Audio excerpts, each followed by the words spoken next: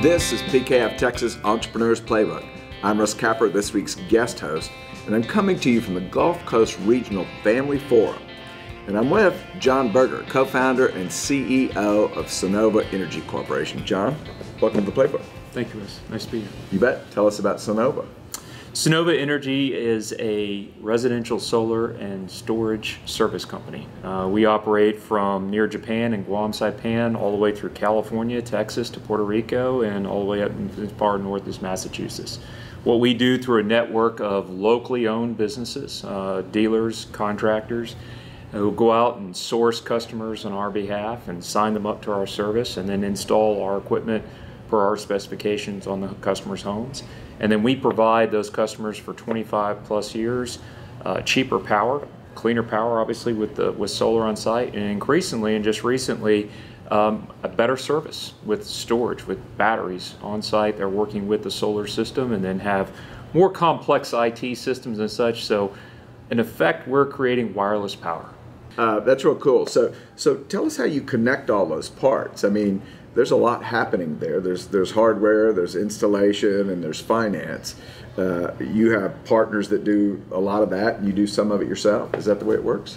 Yes. Uh, what we feel like has made us a success is one word: focus. Okay. So what we do is we um, want to take care of the customer. Um, we have a contract with the customer, and we own the, the equipment in most cases. Now we do do loans as well. But every loan that we sell, unlike most com- uh, competitors, we stand behind fully. By the way to think about it is a bumper bumper warranty.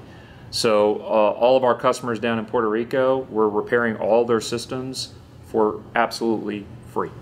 Okay. They paid for it instead of if you had quote owned it and so forth and try to go through all that hassle you would have had a very different financial outcome. Let's just say that, right? And so what we're doing now as storage comes on board is we're taking care of everything for the customer, and we're stepping in with our service technicians and with our partners in the field and making sure that all the equipment is running to the specifications and to what we signed up, you know, the customer to to in terms of their expectations. Okay, so you brought up Puerto Rico. Uh, that I assume was a significant uh, part of your install base. Is that right? I wouldn't say it was it, it was significant in the sense that it was roughly about ten percent. Okay. And so that, that's roughly the way to think about it. Uh, we had a number of customers there. More importantly, it, it, was a humanitarian and still is a humanitarian crisis. Sure. Um, these are Americans. This is a part of the United States. Uh, and what we did uh, right prior, of course, we are headquartered in Houston, so we had to deal with Harvey. Right. Then Irma came and, and knocked down Puerto Rico for a little bit, uh, and then Maria came. Boy, that was that was a wallop. And so we've gotten really good at crisis management and recovery and such. Uh, and we had the largest fleet of solar systems ever to hit, get hit by a major natural disaster in history in the world. And so we've responded in, I think, fine fashion. Uh, there's a lot of challenges. I know our customers would rather have something immediately fixed the next day and so forth, but there's a lot of practicalities. We also came in and said, hey, you know, storage, batteries, uh, this wasn't available prior to the storm, but it is now. In Puerto Rico, really did a service for the entire world, certainly the United States, and saying, hey, look, there's a use for, for storage, not just for electric vehicles, but for actually pairing with solar, and you can get a highly, more, much more resilient system. So we can deliver a better service at a better price than the monopoly down there or anywhere uh, in the world. And Puerto Rico is given a, a, showcase for that. So the next storm with our customers that are getting batteries, and we're trying to get as many batteries as we can to the island as fast as we can uh, for our customers to, to, to, buy and incorporate into their service contracts with us. Then that next storm, they're going to have power no matter if the grid goes down or not. That's okay. a great place to be. Okay. So when you say no matter if the grid goes down or not, and in Puerto Rico today, uh, the solar is tied into the grid, though, right? It is now for a number of customers on a post basis. Uh, uh, the governor has a lot of foresight. Governor Rosselló uh, has a lot of foresight down there, and so we worked with his administration, his office, to say, you know what, from from this point forward, after the storm, all the customers need to have batteries, and that's what's been going on there. So over a period of time, and we're trying to get batteries to our existing customers as fast as we can.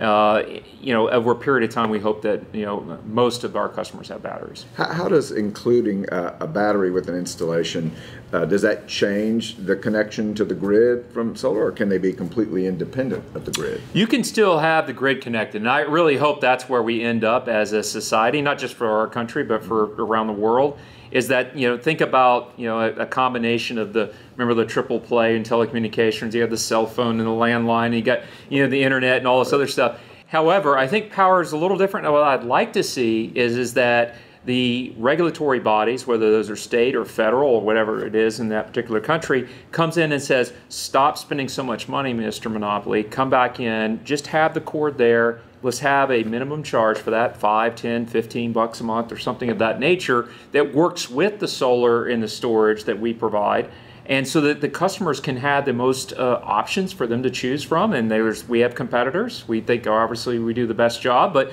let the customer decide who does the best job and let them go and choose that and then still have that wire there. Now, I will say that if uh, some monopolies get their way and charge 50, even crazy, 30, 50, 100 bucks a month, I think more and more people are going to be looking at it as those batteries scream down the cost curve and say, maybe, maybe I don't need that anymore. Okay, real interesting because uh, there's always seemed to be a, a, battle between the grid and, and you know the new actual solar power uh, just on whether or not it can be bought back and those kinds of things.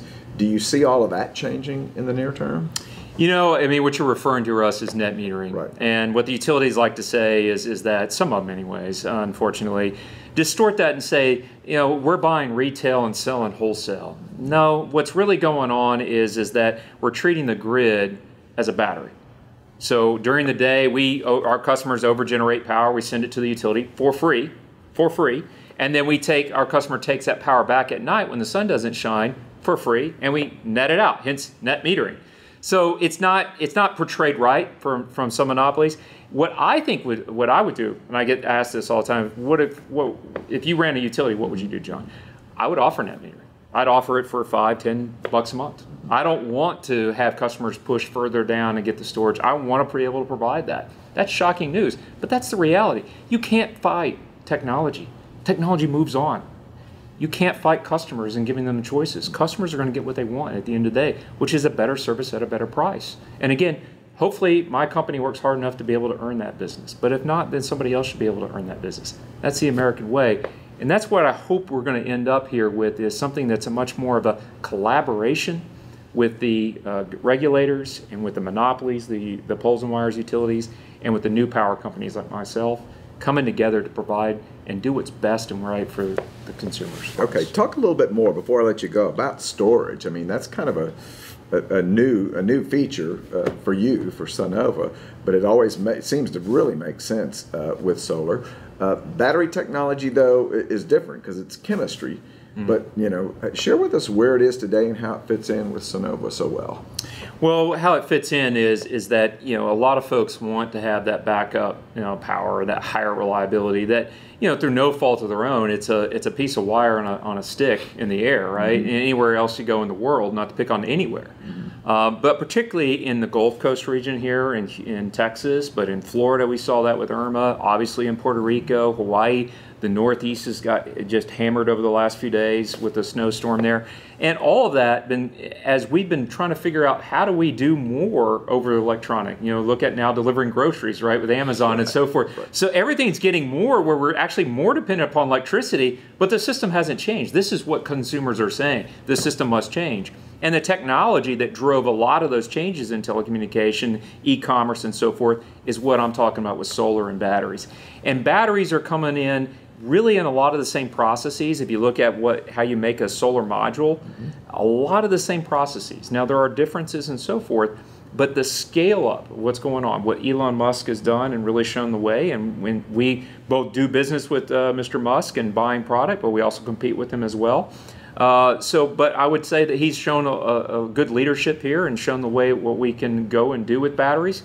But there's a lot of other companies out there LG, Mercedes, Panasonic, the Chinese uh, companies are big in this, BYD and so forth. And all of them have been focused on electric vehicles. And then all of a sudden, Maria hit Puerto Rico and it really shone a light about what could be done. And there's actually higher value add. So basically, consumers are willing to pay more to have that reliability in their home, whether it's in Houston or New York or Boston or San Juan than they are even willing to pay for electric vehicles. And so we, we hope what we see out there is a lot of the manufacturers gearing the uh, operating technologies, the information technologies that manage the, the, the batteries better, we can then sync that up with what we have in our operating technologies on solar and then be able to remotely monitor and manage in the most optimal fashion back here in Houston for all of our customers, whether they're in Guam or they're in Puerto Rico or they're in Massachusetts. Nice. John, a fascinating story, a, a great company you have cooking right now. Looks Thank like you you got a bright future going too. Yes, yes, we do. Every, everybody does. The energy business is going to be an exciting place to be in the next few years. Great. All right. Thank you. And that wraps up my discussion with John Berger with Sunnova Energy Corporation. And this has been a Thought Leader production brought to you by PKF Texas Entrepreneurs Playbook.